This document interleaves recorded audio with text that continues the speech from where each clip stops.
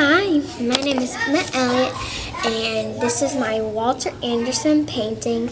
I made it by watercolors, pencils, and colors like to outline the lines. And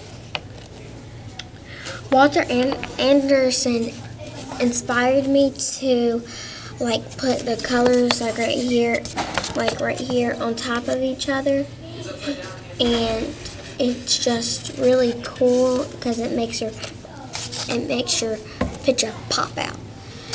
And my my picture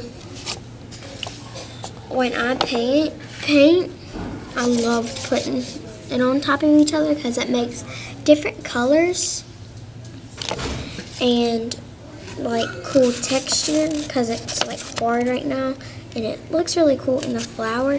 The hardest part was to make sure like the flower right here was put on top of each other and make them leveled. So thank you Walter Anderson for, thank you Walter Anderson for inspiring me to make this picture. Thank you. Emma Elliott. Bye.